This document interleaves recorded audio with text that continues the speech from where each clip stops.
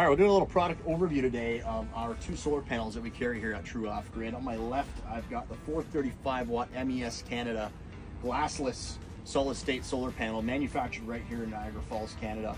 And on the right is a standard 440 watt 54 cell bifacial panel. Uh, we're gonna give it a test today. Want to come over here with our EcoFlow Delta 2 1000 watt portable power station. This is the awesome thing about our EcoFlow portable power stations. They're all in one plug and play. So I'll take my XT60i adapter from the panels, see how much it's pulling. Showing you a small overview on the app, the EcoFlow app as well. We're getting about 316 watts of input.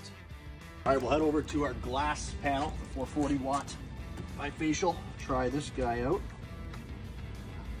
So we should be getting close to the same, maybe a little bit less. Again, show you on the app here, about 270 watts. Again, this isn't a direct angle, about a 40 degree, but sun shining, it's producing, producing well.